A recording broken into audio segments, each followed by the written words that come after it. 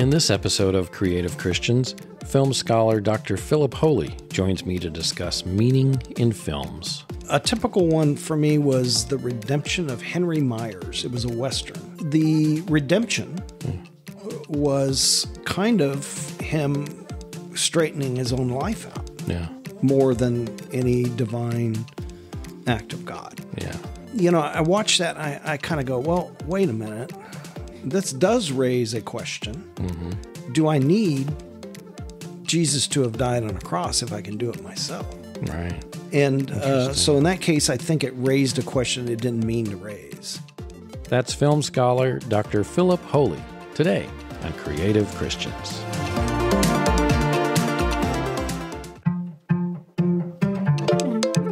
My name is Tim Ristow. I'm a creative, a filmmaker, and writer. I'm also a Christian. Many of my friends are also Christian creatives, writers, filmmakers, actors, musicians, photographers, and artists. Who are these people, and how does their faith infuse their creativity?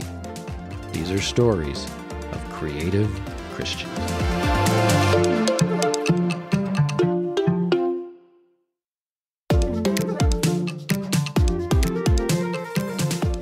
Welcome to another episode of Creative Christians, the podcast series that explores Christian creatives, their talents, their faith, and what they're doing at the intersection of both. I'm your host, Tim Ristow. Thank you so much for tuning in to listen once again.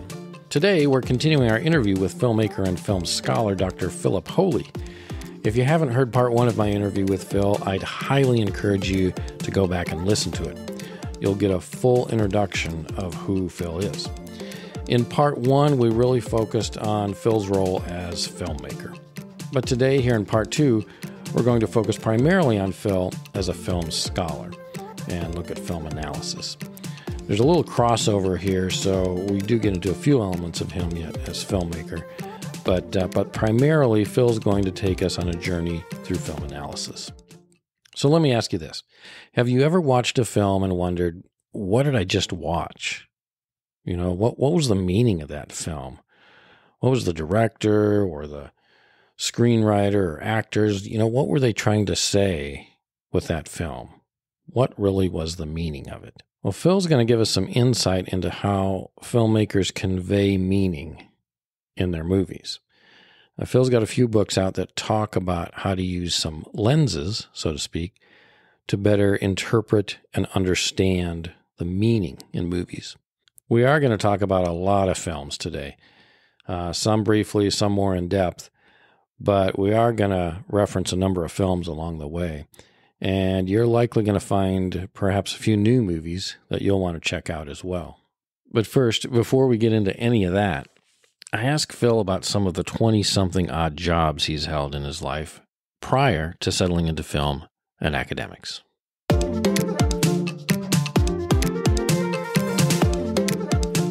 You've actually held lots of different jobs and served in a variety of different roles and settings in your life before you came to some of these other roles. Can't keep a job. I've got the list here of some of the things. You know, vacuum cleaner salesman. Now, Yeah. that's interesting. Yeah, that, I, I, someday I want to write a, a novel or at least a short story about that experience that summer. I mean, I, literally, the strangest things happen. I remember, you know, the uh, summertime, the doors were open. We were often in poor neighborhoods. That, you know, the vacuum cleaner is worth more than the carpet. Right. Um, so, but anyway, I remember knocking on the door and and inside there was music playing, and it was that song. I hear you knocking, but you can't come in. And I'm go- I'm just kind of scratching my head. I said, "How- "What's the chances of that?" Well, nobody ever came to the door. I went to the next one, and there was music playing there too, and it was Paul McCartney's "Somebody's Knocking at the Door, Somebody Ringing the Bell," and I said, "This is too weird. Uh, I got to get out of this business." So you did it for a summer, huh? Yeah, I sold one vacuum cleaner. And how old were you then? Did Gosh, I do? don't know. I might have been 20, 21. Uh, okay. So I'm just going to read over a few of these here. Uh, farm, ranch hand, and dairy hand, carpenter, short order cook, delivery man for Sears and Olan Mills. Ah, remember Olan Mills, the photo package company. Uh, bartender, uh, a roughneck. For one day. One day. Yes. Actually, it was an oil well servicing company. Oh wow. Yeah, those uh, went out with three guys out to way out by Wichita Falls. Yeah. I got the job through my mom, who was working in the office there, and they needed a hand that day. So I went out there. They gave me the overalls, the gloves, and we were pulling these rods out of a well. Okay, and, Yeah. and those three guys uh, taught me something about the English language. they taught me that the F word is a is a noun, a verb, an adjective, Adjective. an adverb, and sometimes a proper noun. That's a lot to learn in Yeah, one day. and they were the most unhappy people I ever met in the world. So Oh, yeah, my my, my time in the oil fields was one day. One day, period, and I said, probably there's got to be something better than this. Yeah, no kidding. Uh, camp counselor, roadie, admissions co- officer, which I believe was at Concordia, right? Yes. Kind of one of your first roles there. Yeah, that was probably the first real job. Yeah. I, I mean, Yeah. I thought I was going into it as a career Yeah. right out of, after college. Right. Uh, I was still doing production on the side, but uh, you know they put me on the road. It was my first public relations job Oh. because that's what it is. Right. Uh, You know, It I was out is. selling the idea of Concordia Lutheran College out Yeah. there. We are just turned four year or turning four year. You know, we had five majors, but three weren't even offered yet. Right. And so we had, you know, I could sell the idea of elementary education, business management, and people says, no, I, uh, no, I, it was management. Yeah. And the students would say, I want business. I said, well, management is business. They go, no, it's not. I go, yes, it is. and uh, communication. But uh, until John Fromm, who I hope you have on your show someday, I would love Dr. to. Fromm, Actually, that would be great. He's my mentor. Yeah. Um, until he came along, there was no communication degree either. yeah. Uh, so it was Mexican American Studies, elementary ed, or management. And if you couldn't recruit somebody in one of those programs, you were kind of out of luck. Yeah. So And this was about 1980 or so. uh, I think that's yeah. when four-year Yeah, program yeah. got officially got started. it I was guess. during those days. But I, I drove a lot of, I drove every road in Texas, I think. I, I would stop at road, uh, you know, the historical markers and stuff. Yeah, and take yeah. the scenic route and everything like that. I ate a lot of fast food. I was right. Had Florida was my territory as well. So I, Florida. yeah. Oh wow. And New Orleans, oh my gosh. wow. I could tell you stories about going to New Orleans. We'll save that for another show. Okay. Okay, so director of IT yeah. At Concordia. Yeah. Yeah. We, uh, there were no computers at that time, Yeah. uh, no desktop computers. Yeah. Uh, um, so uh, the first media lab, uh, first computer lab was set up uh, through the education department, uh, Mm-hmm. uh, Dr. Patchkey. Uh, and I helped him uh, set those up, and they were Macintoshes. Yeah. Yeah, the old uh, Apple IIs. Two two right. E or whatever they were. Yeah. Yeah. And um, uh, uh, it's interesting. I'll tell this to my students. I was the first person uh, on campus at Concordia to have an email address. Really? Yeah. And I only had one person I could email. On campus. Oh, no, it was actually in St. Louis. St. Louis. Okay. Yeah. So uh, that's how old I am. Concordia needs to pay attention. He had the first email address on Yeah. campus. That needs to go in a history book somewhere. Yeah, so everybody who got an email address after that were copying me. Yes, exactly. They were they were trying to be like me. The other thing that I don't know if it's on there, but um, we had uh, I'd gone to Dr. Martin's when we had the Peter Center. I says, would it be in the school's best interest for us to get this uh, broadcast license through the FCC that was primarily for educational use? Oh, yeah. Uh, it was that uh, microwave, direct microwave little dishes that you put on, not Right. like the dishes we have now, but Yeah. um, and he said, "Yeah, I think it would be. We we all the expenses would be paid by this company that would we would lease our unused channel capacity to them, but we had to have certain amount of uh, distance learning put on this thing." And uh, Martin says, "Well, go to the faculty and get some guys to." Um, propose and write up the curriculum that we had to submit with the FCC application. Yeah. And I went there and they all just kind of, well, I don't know, we don't have time for this. You know, that's that's just a fad. This this alternative Passing learning fad. thing. Yeah. Yeah. I don't know if it, anybody ever gave me permission to do that, but I just wrote curriculum. Right. The only there was one professor that actually submitted his own, and but anyway, I I thought, hey, you know, that'd make a good distance learning course, and so we uh, created the curriculum, submitted to FCC, we got the license, and then it all started taking place. Okay, and then when I went up to St. Louis uh, to take that job up there, David Klug came in and he really took it Yeah. beyond that. Yeah. Uh, uh, he really developed it well. But but right now to this day, I'm uh, funny. It's a kind of a bookend to that whole career. Is I'm still writing curriculum for distance learning. I just finished uh, a course this year, uh, a public relations course. Oh, really? That's the one you helped me do the videos on. Yes. Oh, that's right. Very good. So I'm still doing it. That's funny, isn't it? I love it. Li- Life is is uh, cyclical in, in Yeah. so many ways. Sometimes we come come back around. Just want to note a few more of these. CEO of Parabolic Media and of Driving Hope of Texas, which I want to talk talk about a little bit at the end too. Co-manager of LCMS Servant Events, consultant film series curator, uh, a driver for Driving Hope of Texas, uh, also writer and professor, of course. So See, Tim, I am a mile wide and only an inch deep. so you know, pick pick anyone. We could talk about a lot of different things, but if you want a lot of depth, I mean, if you want an expert on any of those things, Right. I'm not the guy. right, You know? but you've got a little experience in all. of Yeah, that. I yeah. love it.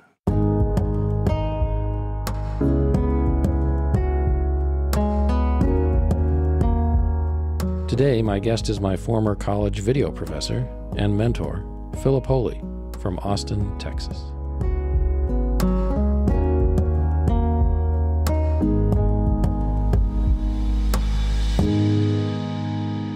You've had a lot of different roles and different jobs, but in film and video, you've also held a lot of different roles producer, director, writer, editor, shooter. You know, you've done a lot of these over the years. Which ones did you find were the best fit with your strengths as a creative? And, you know, how did you kind of arrive at that to maybe help others kind of find their, their point in their callings? I think I would not have been any sense of successful if I hadn't been a good cameraman. Yeah. I think I have a good eye for composition. yeah. Um, you know, I showed you my book here. Right. You know, Yeah. pictures and taking them. Yeah. Um, we're referring to a special book that I published for my wife, Gwen, who's Mm-hmm. retiring today, and she has not seen the photo book yet. By the Um, time this comes out, yeah. she'll have seen it Yes. and be in hope, tears. Hope she likes it. Oh, she's going to love it.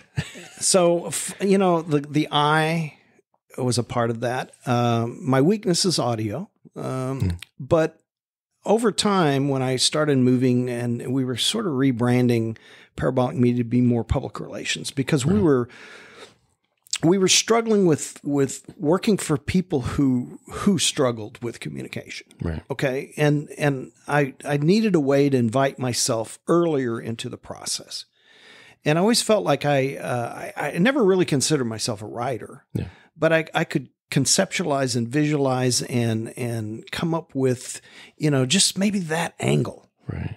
you know? And so uh, I, I you know through my education i think i learned a little bit of that. I studied rhetoric in my master's program which was helpful um, to understand the art of persuasion. Um, so I became more of a writer and and um, I would say a PR account manager, you might say, to Yeah. say here, you know, let's talk about the big picture. Right. And so I was hoping to rebrand it more in that. But uh, for some reason, I think the idea uh, kind of stuck that I'm the cameraman. Yeah. You know, I'm the cameraman. You kind of get labeled, I Yeah. find, with, with the, Yeah. one of the first things you do, and people kind of hold you to that, even if your Yeah. role has completely shifted after that. And you know, I was I was doing all this at the time. There was a major shift in technology. Yeah. Uh, you know, uh, our editing first editing system I bought was over a hundred thousand dollars. Wow. Tape deck, I remember spending forty thousand. Oh, yeah. Those things, The, beta cams are the expensive. Bordercam cameras were forty, fifty thousand. Right. Um, so it was very expensive. And then Apple came along. My love hate relationship with Apple, yes. We all and they put editing's uh, a pretty nice little editing system on every laptop for free, Yes. For free. And then these digital cameras became high definition. Oh, yeah. Anybody could do it. And so we were shifting from uh, people looking to me and say, "We can't do this video without you," to people saying, "I shot this video. Can you just give me some advice?" right. Tell me how I can edit this Yeah. and make it look good. And you know that was the, mo- the moment you know when I was dealing with, and they love their own stuff. Right. Oh, you, the, it was Yeah. my vacation videos, basically. Right. Let's make this into a mission video. You know, I, you know, well, you're not going to want to insult them, but Right. um, so really oftentimes we were fixing, you know, those Mm-hmm. kind of problems for people, and I realized maybe I should go back into teaching. yeah. You know, at first I could see us moving into more of a consultant uh, company instead of actual production, Yeah. and then I was also thinking I should be doing what you're doing here now, making my own stuff, and maybe even selling it. Right. Yeah. You know, um, if I were to get around to it, but I was feeling the calling to come back to teaching. So that brings me a question that was submitted by Mr. Scott Maynard, also a former student of yours. yeah. Who, who he, I asked him before the show here this morning. I texted him quick and I said, "What? What are some other questions maybe I could ask Phil?" And he said, uh, "What inspired him to be a teacher?" So this is a perfect, perfect lead into that. How, how would you answer that? I know you kind of give me the, the roundabout answer there, but was there one thing? Satan? That's what Scott would say. Scott was really good. He was he was a co- co- comedian, and he, He- he could do is. imitation, and he would always do the church lady on Saturday. Night oh, oh, he did that so he well. still does this. I Yeah. saw him last week, and he did it then. Oh yeah. no, it was not Satan. It was it was God. yeah. Um, uh, you know the call. Any vocational calling sometimes doesn't come with a job. right. Okay. And I think people going into church work have to realize that working for God and working for the church are not necessarily the same thing. Okay. In my book, Leading from the Bottom, Mhm. I talk about uh, serving the mission or serving your boss, serving the organization. Okay.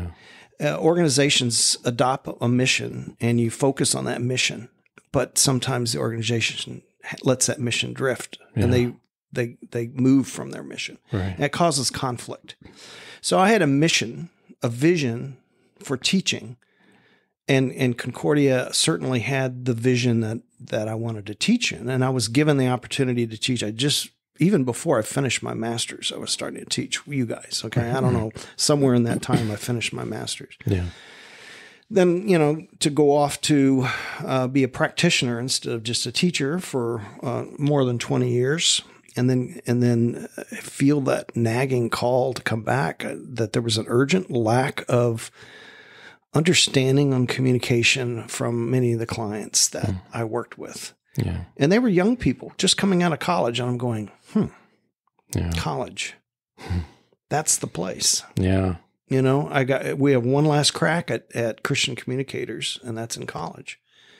And so I just felt that calling, and and yeah, I toyed with the idea of maybe going and getting a PhD. You know, it never really was at the front part of my burner. But when I determined that, uh, when I interviewed at Concordia again, uh, that was the suggestion that if you're going to stay here and teach, you should get your PhD. So I'm all in. Yeah. Uh, the tricky part was to find a place that would accept me. Right. I got turned down at the University of Texas. Oh. Yeah. I, they turned me down from a master's program, so it was no surprise. Yeah.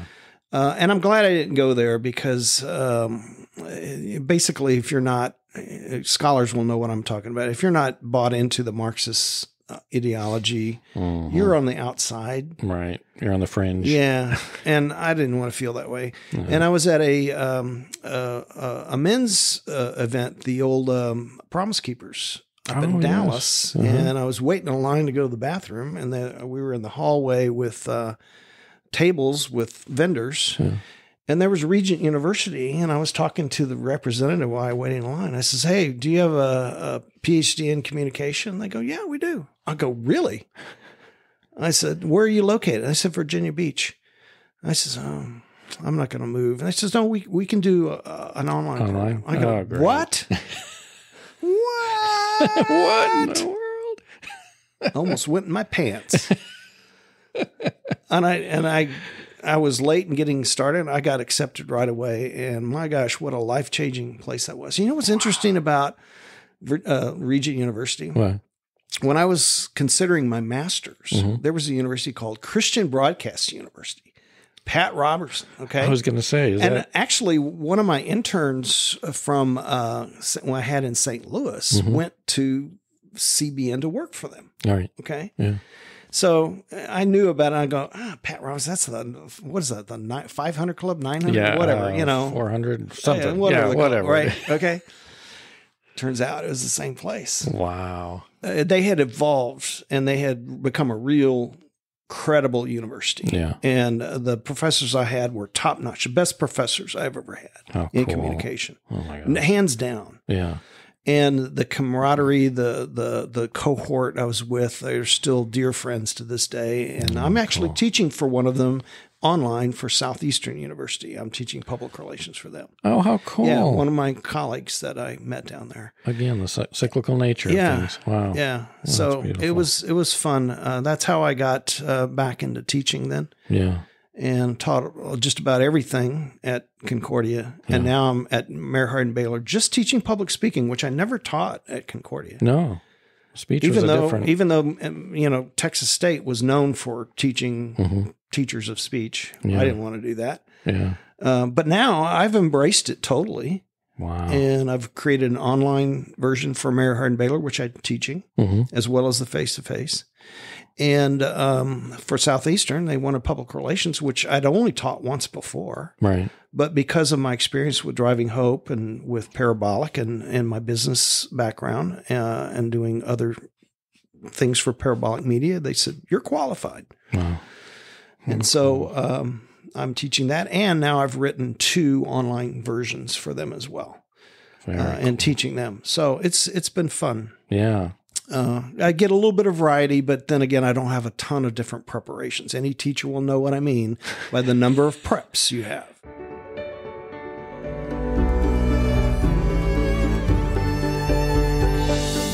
I'm talking with film scholar Philip Hohle.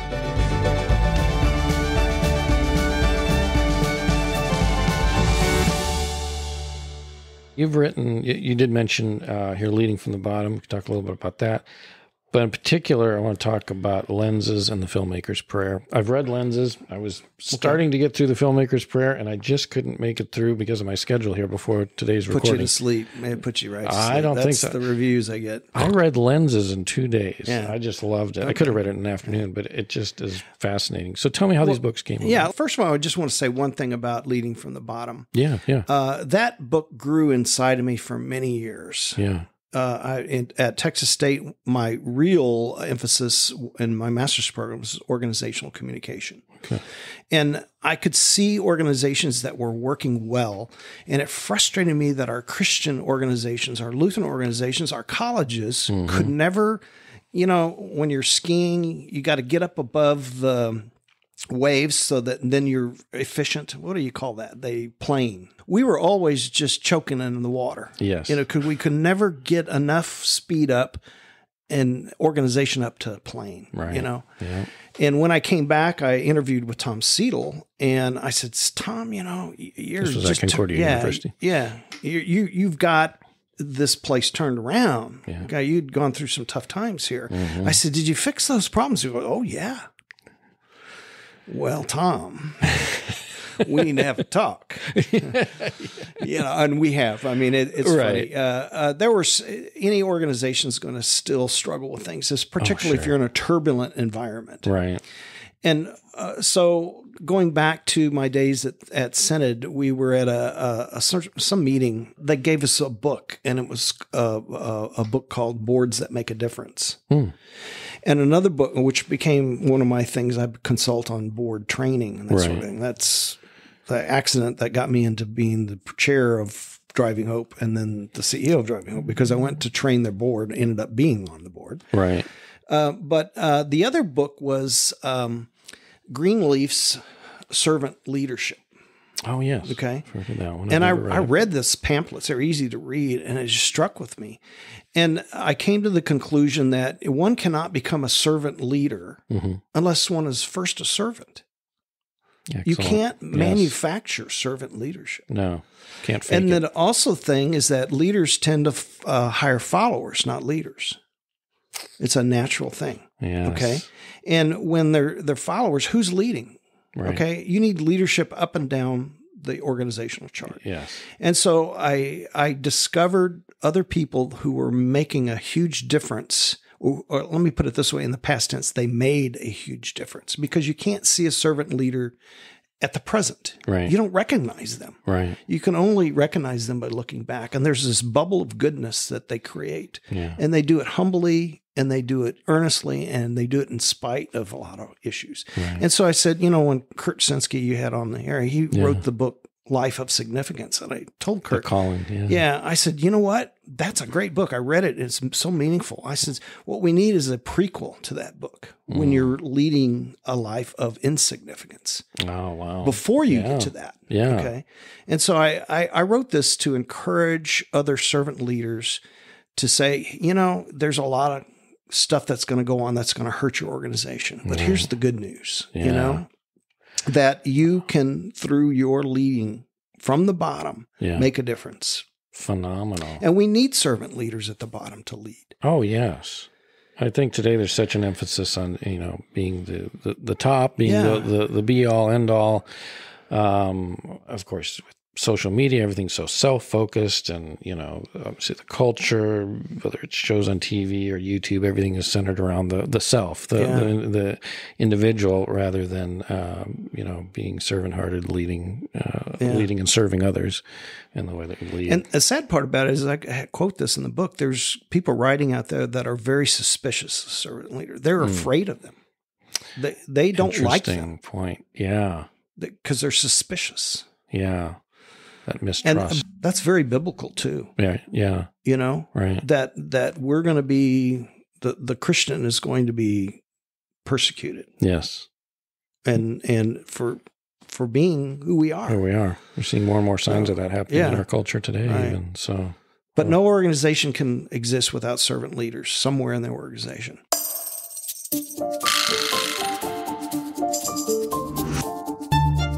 Film scholar Dr. Philip Hohle joins me today to talk about meaning in film. Let's get into into lenses and uh, and filmmakers' prayer since they're so concentrated on film analysis. Tell me just briefly how you moved from filmmaking to film analysis. Uh, it was a graduate school thing, even though that had been inside of me. You know, I've been asking that question: How can people see the same movie and have two different interpretations, Right. Okay. including my own daughter? Oh wow. We went to a movie together, and we came out of there. We saw two different movies. Yes. and um, and so my graduate work uh, was pointing in that direction. Yeah. And when I finally got to the dissertation stage, I did the proposal. My uh, advisor accepted it, Yeah. and we just took off from there. Yeah. I had been teaching media analysis and criticism at Concordia, Yeah. and um, the, I I had the feeling um, that uh, that could be. Uh, made into more public, uh, uh, Oh, the general public. Yeah, Yeah. I can't think of the word. Yeah. Uh, that's the problem with The us mainstream writers. audience. We're always trying to find the right word. Yes, exactly. And and um, I don't know if I've got the timeline right, but I created the uh, course at Concordia, Cinema and Religion, in Mhm. addition to media analysis and criticism. Right.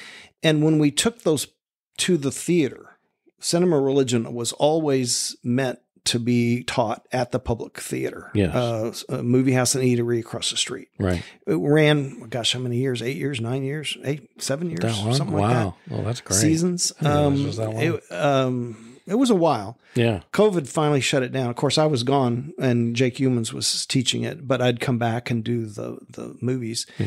Um, we needed something for a curriculum for the public, Yeah. And so I I was immediately motivated to take media analysis and criticism and create a, a simple curriculum for that. Yeah. And I named it Lenses. Ten different ways to approach a film. Yeah. And and the idea is if you know what questions to ask, you can finally come to a more satisfying answer in the film. Yeah. For example, for me, whenever I watch an Oliver Stone movie, Mhm. I use the lens of accuracy Yes. because he JFK tells comes to mind. Yes. yes. Yes. Okay. Probably his Um, most infamous example of, Right. of taking some liberties with history. Sure, yeah.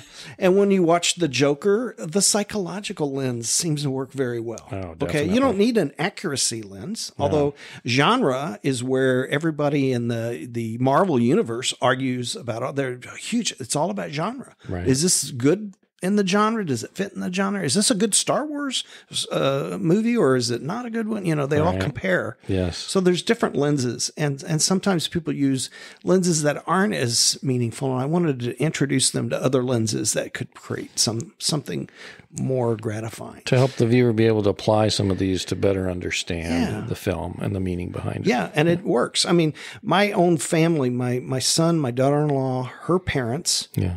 And Gwen and I meet monthly to talk about a movie. Oh, cool. Yeah. I love And that. and the the discussion would go for an hour and a half sometimes. Yeah. And at the movie theater, our discussions always after the movie, Yeah. always after the movie, where, where we would uh, spend time with with comments and questions with the audience, and it's always so gratifying, Oh, yeah. not only for us but for them.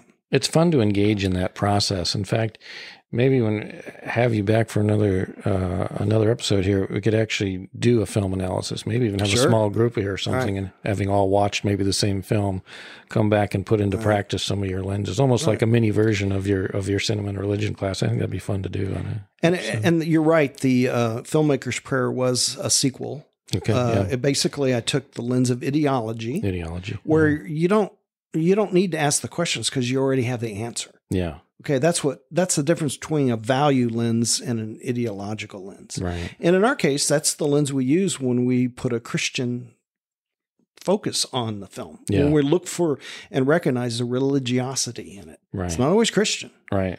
Yeah. All right. There's some alternative religious ideas that come out there, even in Christian films. Yes. You know, I can tell you some bad theology in some good Christian films. Right. Okay. Yeah, that'd be interesting. And but we discover that through that lens. So that's what the filmmaker's prayer is. And and you know, every filmmaker has a prayer for you. In other words, they have an idea, they have something they find important, and they make a movie about it. And they want to share and they offer message. it to you. Yeah.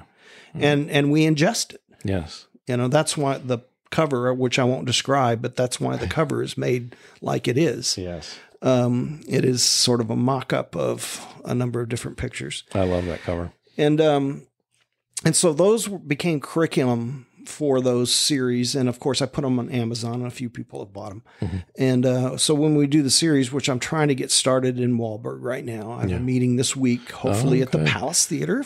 I hate to say that too early, but there's Right. a possibility we could be on the square in Georgetown doing that Well, let me on a Sunday or. Monday night. Yeah. I'd love to be a part of Yeah, that. it, it Um, would be great fun. But but that's what the books were for.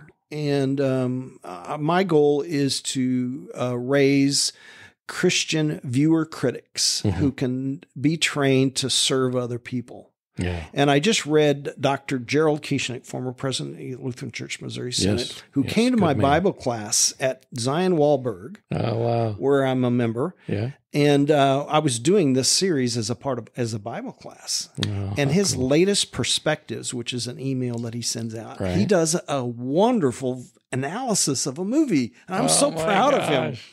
Because that's exactly He applied one of Yes. your lenses. Oh, yeah, I he- love it. He may deny that.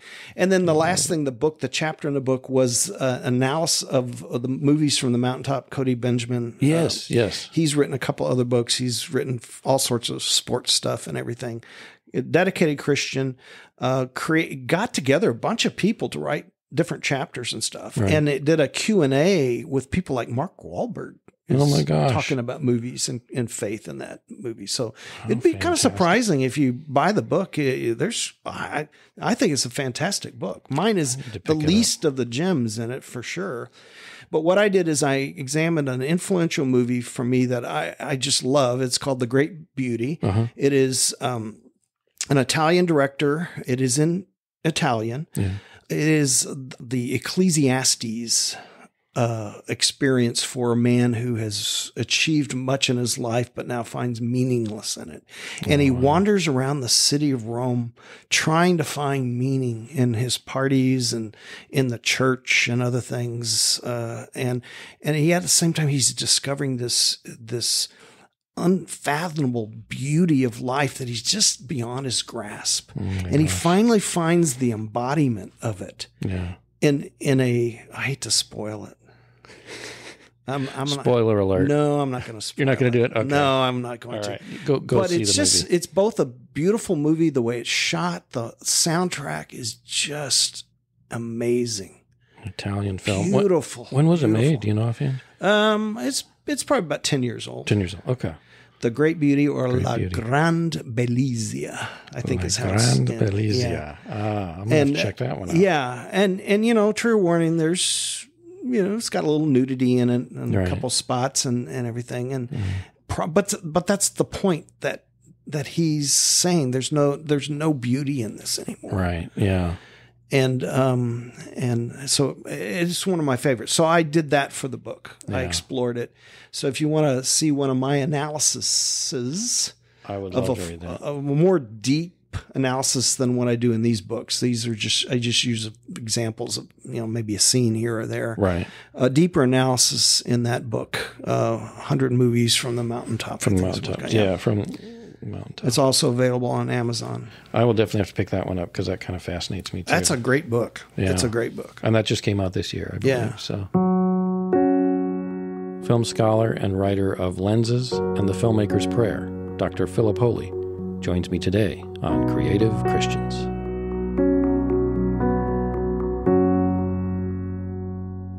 You know, in Lenses, you talk briefly about how movies are best viewed as a community participatory Yeah. experience, and certainly that is the case.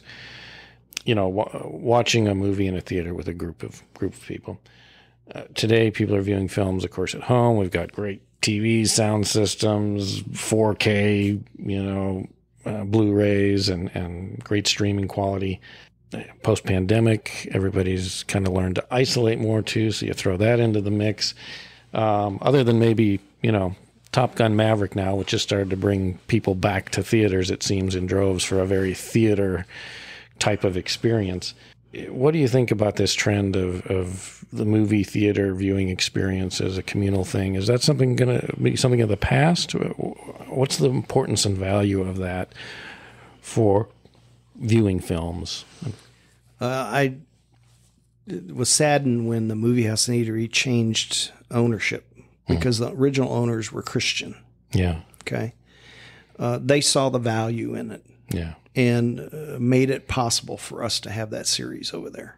Okay, the reason the series isn't over there anymore is they sold it to another company that's not interested in that. yeah, But to me, these movie chains should be uh, encouraging that kind of community yes, uh, because we'll come back because it's so much better. right, So, the, psychologically speaking, when you're hearing other people laugh or gasp or mm-hmm. something like that, uh, it, it does. It, it. Let me put it this way: uh, Albert Bandura's social cognitive theory basically says that we learn from observing other people. Mm-hmm. Okay, and you're learning about the movie through the people you're with. oh yeah, Now, that probably is very short circuited because we're not really paying attention to that. It would be more subconscious. But when we talk about it afterwards, yeah, that's where the real magic happens yeah, because we'll see and hear things from other people that we didn't see. And suddenly we're going, oh, I mm-hmm. didn't notice that. yes, And together we can have a more full, complete interpretation of it. But it is it is marvelous to be able to go in and explore religious themes in movies because every movie has a filmmaker's prayer I love that. of some sort. There's always an ideological message. message. Yeah. Even just since reading lenses, and, and that was one of the lenses in there, and then starting to read the filmmaker's prayer, I've started to look at a couple films now since then um, differently already. And so I'm finding that very helpful to help me focus more on that emphasis. Um, and then to the point of a theater and, and the community viewing experience, I, I, one of the most amazing ones for me in recent history was, oh, the last um, Marvel Spider Man movie. I think it was No Way Home packed theater. It had been an anticipated film. Everyone was wondering whether Tobey Maguire was going to be in this one. You know, the, the previous Spider-Man, Andrew Garfield was going to be in it. It hadn't really been confirmed.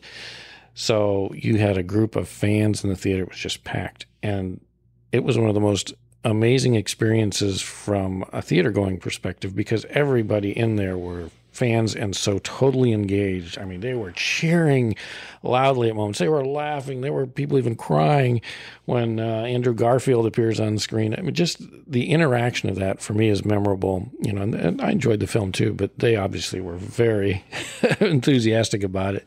And I just remember that experience because I haven't had one like that in a theater decades. And so it was so fun to be in a group with that kind of shared experience. Let me put it this way films are a gateway drug to religion. Because, Oh, interesting. especially, you, you witnessed a worship service there. Ah, well put. Yes.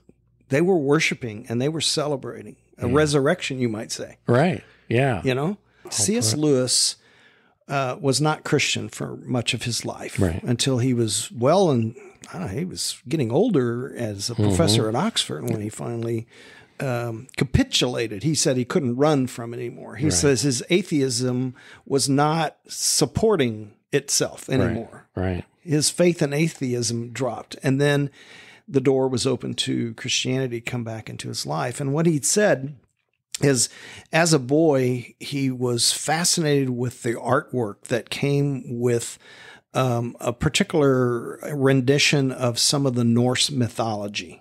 Okay.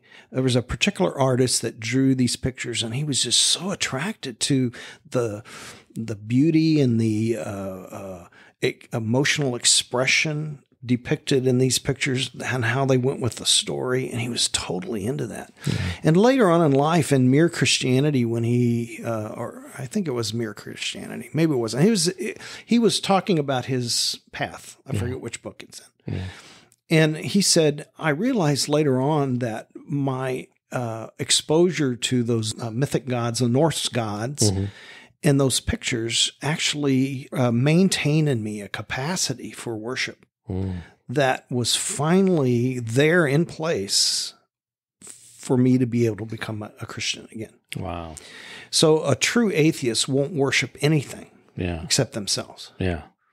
And so even an atheist is is walking around worshiping Yes. all the time. And if they realize where the the story leads and and understand that there's a greater story out there, it connects. Mm-hmm. And so movies, I think, are the gateway drug to becoming Christian again for a lot of people.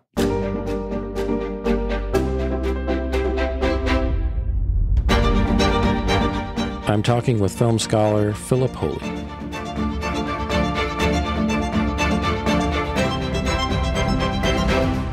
You know, in lenses, you have the chapter on the narrative lens, Okay. um, the role of the hero. You discuss story building, provide some questions to ask, and helping to analyze what is happening in the film. Um, on page 36, you wrote, What new big question is raised in the end? The plots of good movies are not always tied up neatly in a bow. New questions, new callings, new communities, and new journeys may be introduced just before the credits roll. For some of us, our satisfaction in the narrative is supplied by these new questions. Does hope arrive for the sequel so the new questions can be answered? Or does the new question undermine or change the original one? In some cases, the neatly packaged answer to the question may be dissatisfying. And in your footnote to that last sentence, you comment, This is why I often criticize movies in the Christian genre that are all too predictable. So many make it seem that when one converts, that all questions in life are answered fully and forever. These filmmakers seldom risk raising new questions. I think many Christian creatives would agree that you know you want the, Christian genre of film films to be better than they often are, even though they have noble noble intentions. Um, do you have a good example of a Christian film that maybe falls into into that trap? Gosh, which one doesn't? Um, I'm not sure the ones that I've been using examples completely answer that question, but I'm going to try it and maybe I'll formulate it Sure. as I go. Yeah. Um, a typical one for me was the redemption of Henry Myers. It was a Western. The redemption was kind of him straightening his own life out Yeah. more than any divine act of God. Yeah. You know, I watch that and I, I kind of go, well, wait a minute. This does raise a question. hmm Do I need Jesus to have died on a cross if I can do it myself? Right. And uh, so in that case, I think it raised a question it didn't mean to raise. Right. Okay. Another one that drives me batty uh, was I Can Only Imagine. About the MercyMe band. Yes. Yeah. Right. Um, there's a, a subplot going in there. Uh, first of all, he's trying to make it in the music business. Okay, He's got this song um, that Amy Grant's going to put on her album. And so he's finally achieving this stuff. But the subplot or the parallel plot, it was a relationship with his father. And his father finally passed away, and they he had come to know Jesus before he passed away, and his son, uh, the the singer, I forget his name, Yeah. I don't remember. um, he he he rejected the idea that his father could be forgiven. Okay, so finally he comes to grips with that about the same time that Amy Grant is going to perform this song for the first time, and he's on he's sitting in the audience, and she invites him up to sing it. Okay, and so he's standing in the audience singing "I Can Only Imagine." Now, if you know this song, it's about when you get to heaven what will heaven be like? Mm-hmm. And he talks about seeing Jesus. But the filmmaker, as he's singing the song, puts his dad in white clothes, he's imagining his dad, mm-hmm. in the audience, smiling at him. And so the question that movie arises is Dennis Quaid, who plays the father, yeah. is Dennis Quaid Jesus? I think he might be. He's got the smile for it. Right. I think he might be Jesus. so, you know, so your dad is how, what? I I don't get it. Yeah. Okay. So they they they, ra- they raised that question and and uh, they missed an opportunity. Yes. Why don't you, why don't you make whatever visuals uh, support the song? Right.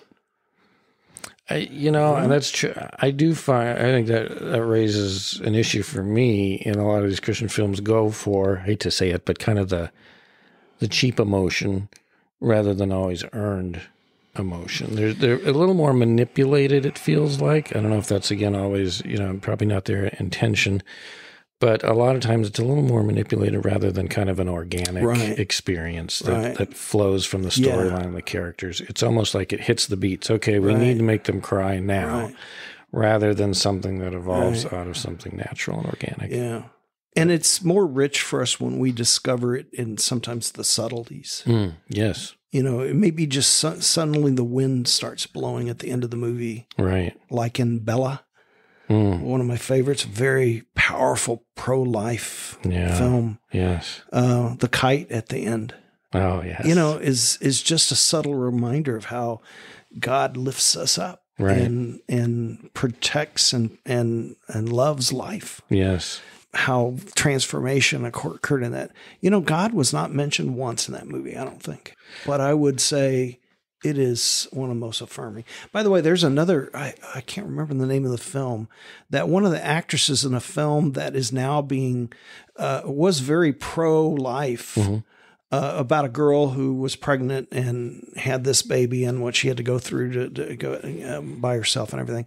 And now the actress is saying, I don't like people now interpreting this as being pro life, that it, it, it's anti choice, you know, and it's like, well, yeah, we did interpret it that way. Right. Yeah. Of course, that was the filmmaker's prayer for us. Now you're going to tell us that wasn't exactly. meant to be in the movie or that we're going to retract everything that movie did. Didn't you Oh, read the script?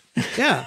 Maybe we should ban this movie because it's so pro life. It's just like, well, gosh, it is powerful. And you're right to, if you're pro choice, that you don't want people to see this movie No. Which because it's very powerful. And there's a lot of good movies out there that have those affirmations. And, oh yeah. oh, Terrence Malick's, oh, Mhm. so full I need to watch more. beautiful, beautiful sentiments about who you know. It's existentialist, a lot of it, Mm-hmm. but it's uh, existentialist in a Kierkegaard way, Yeah. where he he ends up being face down on the floor, just humbly before God, saying, "Take me, Mm-hmm. make." And or I've got to take a leap of faith, Yeah. and that's the hardest thing. If I take that leap, Right.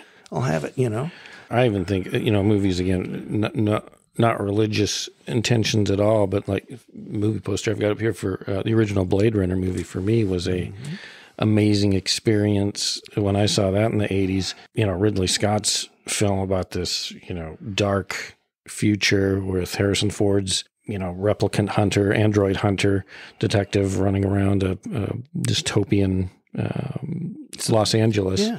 and and you know he spends the whole movie, and it's filled with violence, and there's some nudity in there as well. But you know he spends the movie trying to hunt down these whatever it was, five or six, Replicants. yeah, replicants, and you know.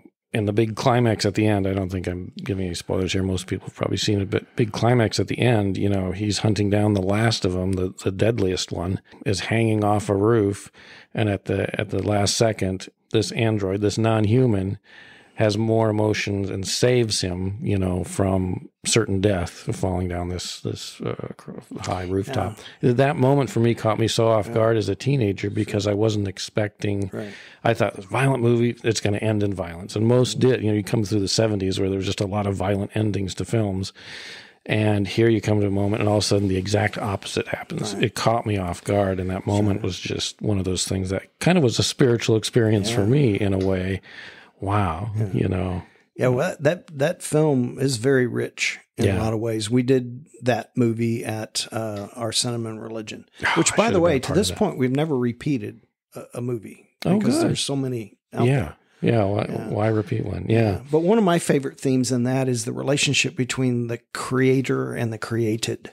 yes, You know, who is your creator and what's your relationship to this creator? yes, You know, do you rise up and destroy the one who created you? right. Which the main character does, uh, the main android uh, does. Um, uh, Roy Batty, the uh, Rutger Hauer character. Yeah, I, I think there's so many layers to meaning that. Some people dismissed it, you know, with being kind of too simplistic or or or whatever, or a visual feast. But I just find so many layers of meaning to that film, and it is a dark film, but it's uh, it's powerful on a number of different levels. So. Filmmaker and writer of Cinema and Religion, The Filmmaker's Prayer, Philip Hohle joins me today on Creative Christians.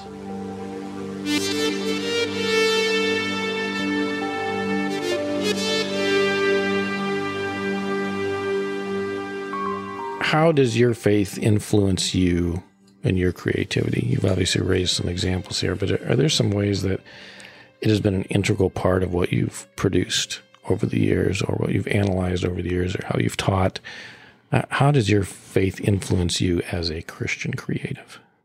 I I think I'm going to frame it this way. For the Christian creative, we need affirmation to keep going. Yeah. We need to know somehow that what we're doing is making a difference in the world. But there's a danger from getting too much praise. Yeah. Thankfully, God has made it where I have not been, uh, you know, uh, Overly praised? oh, yeah, and Tim, you're making it dangerous here by saying such good things about me because now I'm going to get my ego going again. Um, you know, that's the thing for the Christian creative and in, their faith is is you got to believe in what you're doing, Yeah. and people will tell you that it's nonsense, that's boring, that it's mean spirited, you know, intolerant, Mm. or uh, maybe oversimplistic on some occasions. Yeah. And you have to believe. You have to believe. But before you can believe, I think it's a starting place is you have to ask yourself, why am I writing this? Or why am I making this movie? Right. What is my prayer? Yeah. You know, what what do I hope to accomplish? And if it starts sounding like, you know, let's say the uh, approach with publishers. I think Kurt mentioned his relationship with his editors and that sort of thing, how he was rejected. Right. You can choose to go with the publishing route. I, I think you should go the the the major publisher if you're into it for fame or, and sales, right? Right.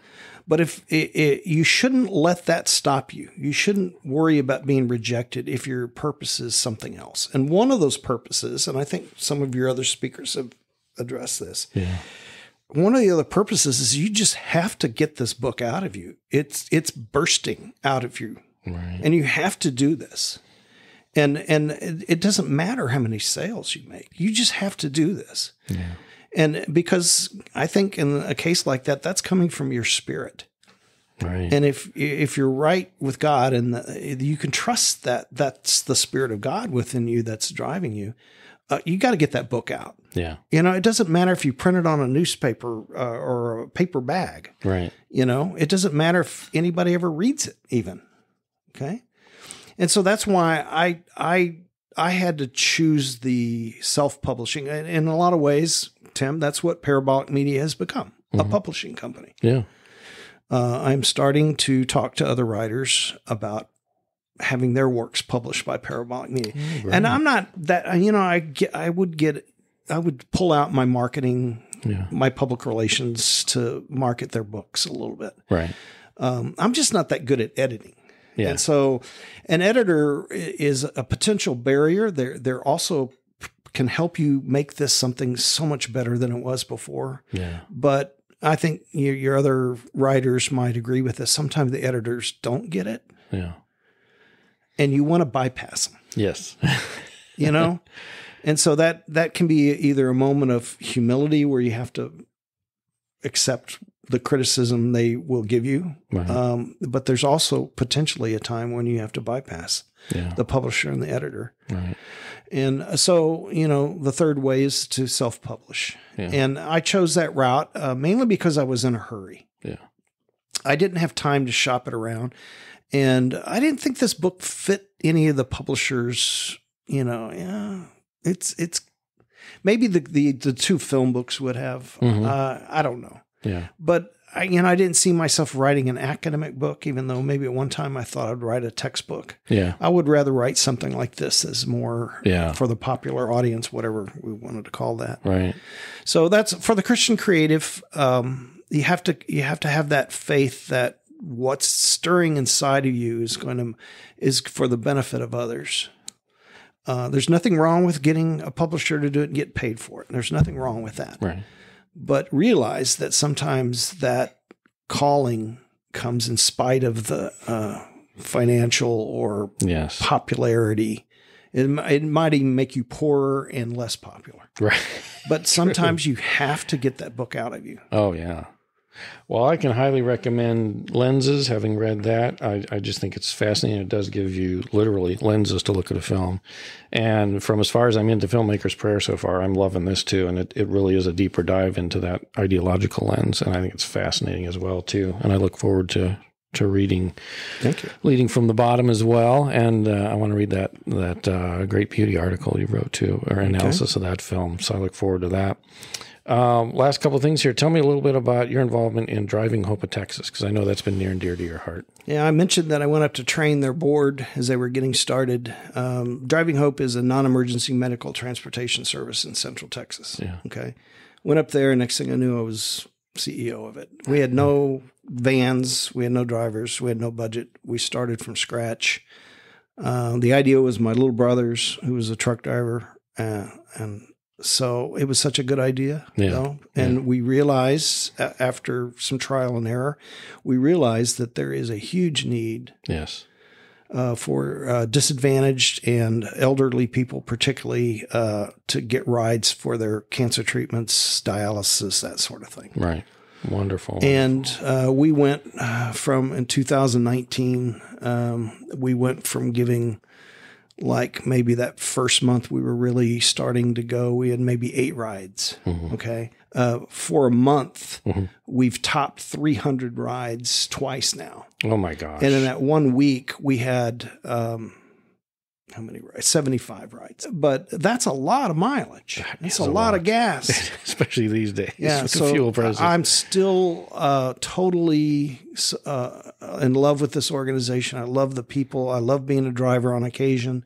I'm no longer CEO. I stepped aside in retirement for that. I'm too busy teaching these days to really. It's grown. It needs somebody else. And now my friend Les Winkler, which some people from Concordia will know, Recognize that name? has taken on the reins of uh, executive director of Driving Hope. Fantastic. So it, it's got a great future. Uh, there's such a need out there. If we were to go away, we would leave a hole. Yeah. And uh, so, Definitely serving a need Yes. there, and and Yes. uh, I suspect ministering along the way through that. That's phenomenal. So I told you I was a mile wide but an inch deep. So I've dabbled in so many things, and that's one of the things I've dabbled in. So. I love it. But if you want to read Phil's book, listeners, uh, Phil's books, Lenses, Filmmaker's Prayer, Leading from the Bottom, they're all available on Amazon.com. Yes, including the hundred movies from the uh, From the mountaintop. Yeah, you Yes. can find that on Amazon Uh, too. which I also look forward to. Cody getting. Benjamin, Cody is Benjamin. the editor and writer. Um, wonderful books about film and about organizations and serving uh, and film analysis. So, all things to definitely look forward to reading if you haven't checked them out yet. Thank you, Phil. It's been so you, Tim. good sitting down to chat with you, getting an opportunity to talk film, filmmaking, film analysis, academia, all this great stuff. Um, you've certainly influenced a great many students, uh, students' lives over the years, including mine, most definitely.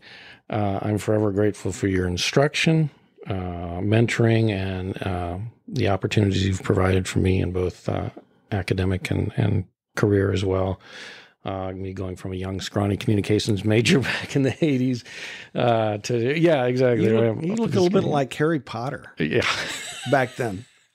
My, my youngest son would have would have would love that comparison actually, but anyway, I'm still living living that path of media today, so I owe a lot of that to you. I'm glad uh, that you're enjoying it. You're making a living and not cursing me for Oh, leading you not. down this path to destruction. Well, and I know many other former students listening today will feel the same way too. You've influenced many many students, so I'm just thankful our paths have continued to cross over the years since since Concordia. Once again, thanks so much for being on the show. It's my been a pleasure. joy to have you. It's been fun sitting here talking.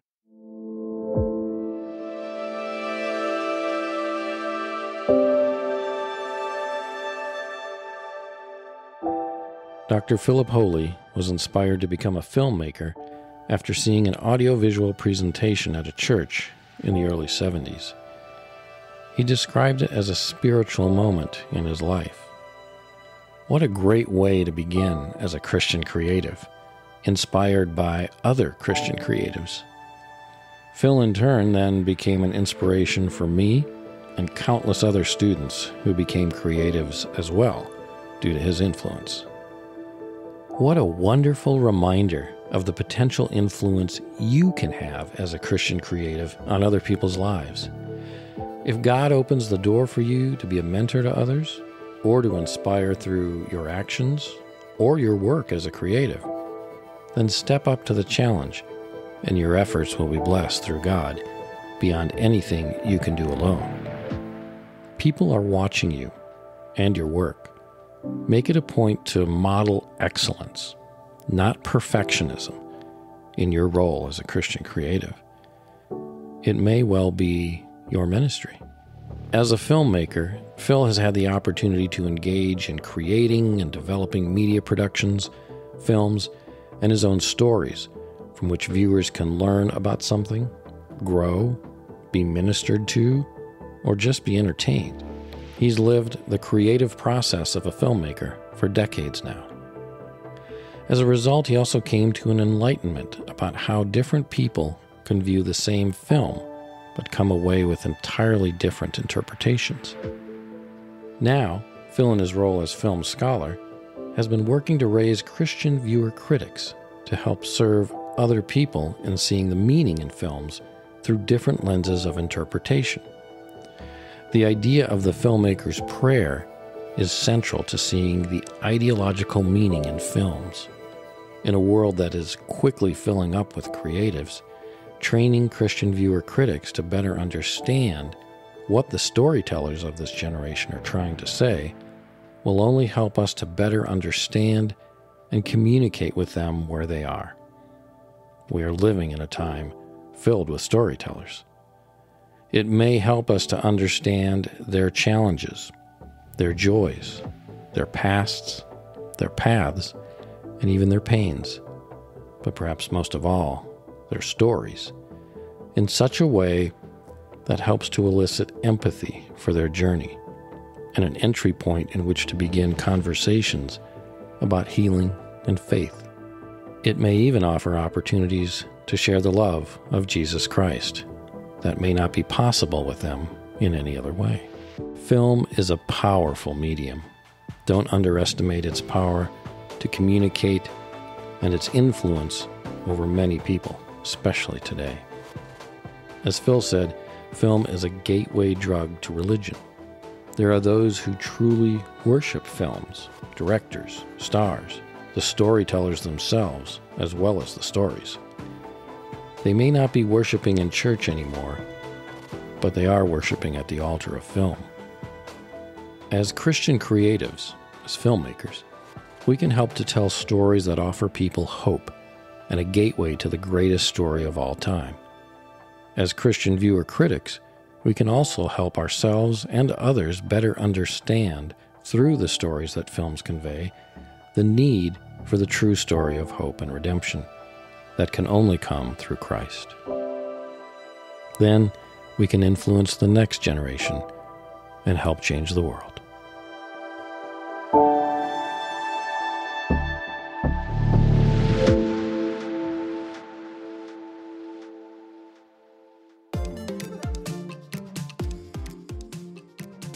My guest today has been filmmaker Philip Hohle, one of the talented creative Christians who mentored me as a creative Christian in my earliest days at Concordia Lutheran College.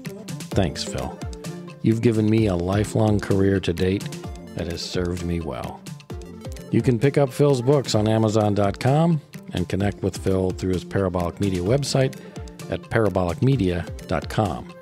That's P A R A B O L I C M E D I A that's it for this episode of Creative Christians. Thanks for listening. Go to Apple Podcasts or whatever your favorite podcast distributor is, and be sure to subscribe to catch each and every new episode.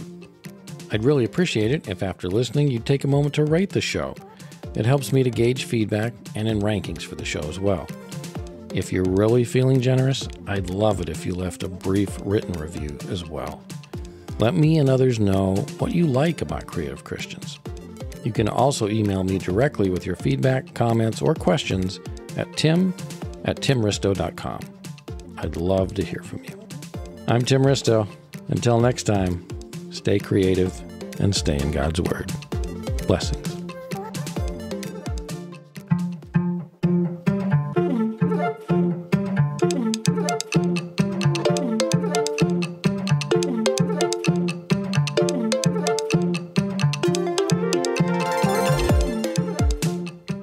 Christians is produced by yours truly, Tim Ristow. Special thanks to my guest today, Dr. Philip Hohle, and to his wife, Gwen. And as always, a shout out to my lovely and supportive wife, Tracy Ristow. Creative Christians is an audio production of Tim Ristow Productions. Visit timristow.com to learn more. That's T I M R I S T O W.com.